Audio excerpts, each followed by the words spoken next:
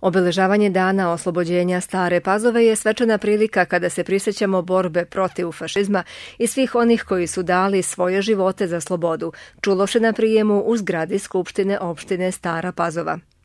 Danas obeležavamo jedan značajan datum u istoriji našeg naroda, dan oslobođenja, dan kada je naša opština oslobođena od fašističkog terora i njihovih slugu. Svečanosti su prisustvovali predstavnici pokrajinskog, opštinskog i mesnog odbora Subnora, Vojske Srbije, gosti iz Rume, Šida, Indije, Sremske Mitrovice, Staropazovčani. Povorka je zatim položila vence i cveće na spomenik u centru Stare Pazove, gde su uklesana imena poginulih u drugom svetskom ratu, ali i u ratovima 90. godina.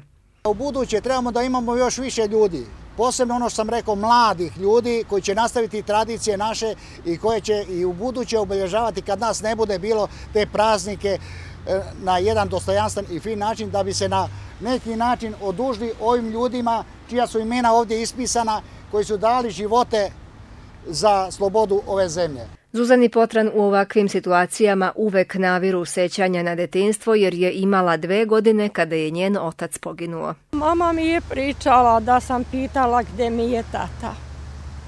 Sva deca imaju oca, a ja nemam. I onda mi je rekla da je poginuo.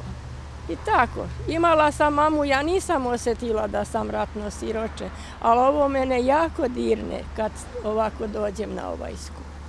Kod spomenika Janku Čmeliku u gradskom parku Šimo Domonji, predsjednik mesnog odbora Subnora, je podsjetio na život i delo ovog narodnog heroja. Janko Čmelik se herojski držao pred neprijateljskim vlastima, ne rekavši im ništa, pa je tako herojski i poginuo.